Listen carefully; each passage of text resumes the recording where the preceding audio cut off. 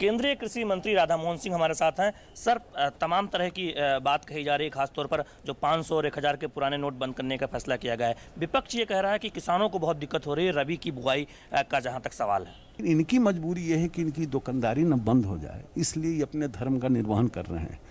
क्या विपक्षी को ये पता नहीं है कि देश के अंदर साढ़े चौबीस करोड़ लोगों के पास जनधन खाता है?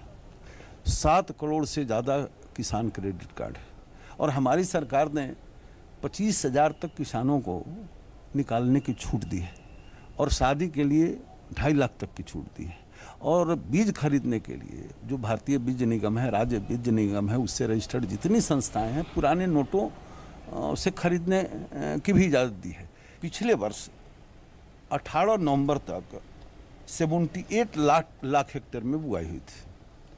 और इस वर्ष 18 नवंबर तक आपको 79 लाख हेक्टेयर से ज़्यादा में बुआई हुई है।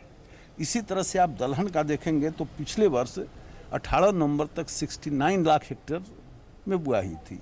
इस वर्ष सेवेंटी सिक्सटी नाइन में हुआ था अब सेवेंटी फोर लाख हेक्टेयर में कल तक इस वर्ष में बुआई होगी। आगे क्या किसानों को राहत देने के लिए और कोई फैसले फर्टिलाइज़र की बात हो रही है उस पर भी छूट क्या या और क्या विचार होगा या समय समय पर समीक्षा होगी? आपको हमने बताया ना जी हमारी बुआई की जो स्थिति है आप देख रहे हैं, इससे बहुत साफ़ है कि थोड़ी बहुत परेशानी थी, लेकिन बहुत परेशानी होती तो बुआई का रकबा नहीं बढ़ता। और थोड़ी परेशानी देश भर में ज़रूर आई। अब सवा लाख बैंकों तक पैसा पहुंचाना, दो लाख एटीएम तक पैसा पहुंचाना, पोस्ट ऑफ़िस तक पैसा पहुंचाना, इतना बड़ा नेटवर्क, इतना बड़ा साहसिक देश हित में फैसला। मैं समझता हूँ कि आज़ादी के बाद इतना बड़ा साहसिक कोई दूसरा फैसला नेशनल इंटरेस्ट में नहीं हुआ था। रबी की जो बुआई का रकबा है जो अभी तक जो के आंकड़े आए हैं 18 नवंबर तक के, अगर उसको देखें तो बुआई का रकबा बढ़ा ही है। और जो थोड़ी बहुत दिक्कतें आ रही हैं, सरकार ने तमाम कदम उठाए हैं, जिससे किसानों को राहत मिल सके। कैमरामैन पूरन चंद जोशी के साथ शैलेंद्र मिश्र डी न्यूज़ दिल्ली।